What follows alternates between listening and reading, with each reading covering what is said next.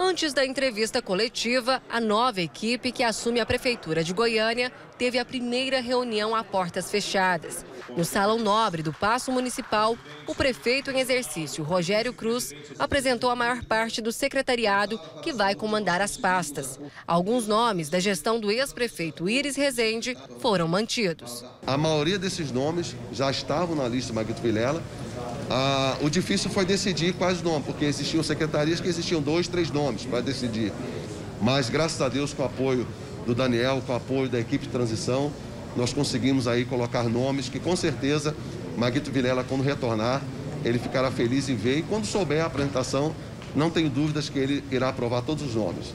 Fazem parte das 19 secretarias os seguintes nomes: Andrei Azeredo, Secretaria de Governo, Agenor Mariano, Secretaria de Planejamento Urbano e Habitação, Alessandro Melo da Silva, Secretaria de Finanças, Álvaro Alexandre Camargo, Secretaria de Esporte, Bruno Carvalho da Rocha Lima, Secretaria de Comunicação, Carlos Alberto Branco Antunes Júnior, Secretaria de Desenvolvimento e Economia Criativa.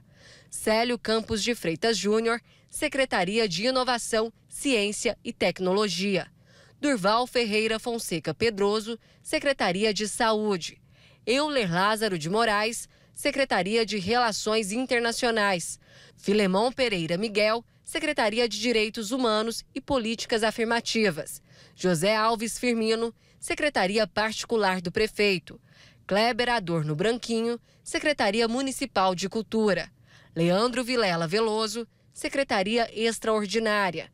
Marcelo Ferreira da Costa, Secretaria de Educação. Marcela Araújo Teixeira, Secretaria de Administração.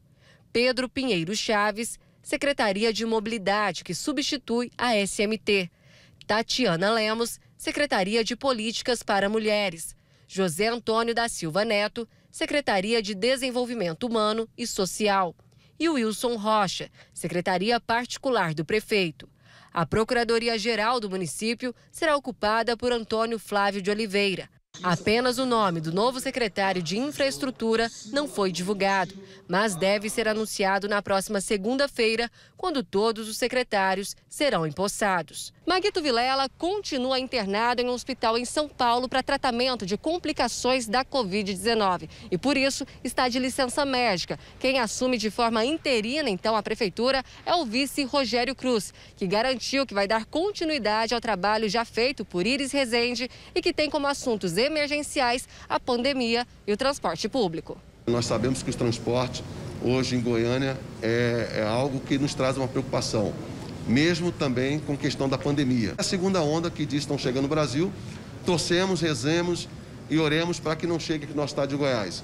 Mas, de qualquer forma, temos sim essa preocupação e temos equipe da Secretaria de Saúde formatada, preparada para tal combate.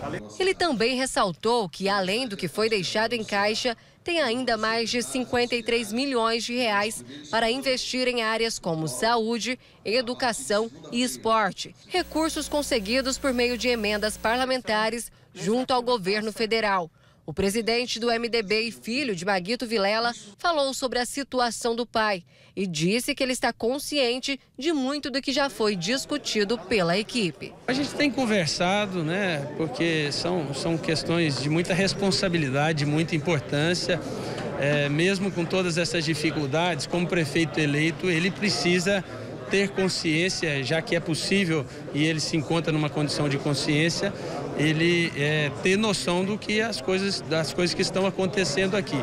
Mas a gente também não pode é, é, ser exagerado no momento de recuperação com o paciente e expor ele a tantas decisões.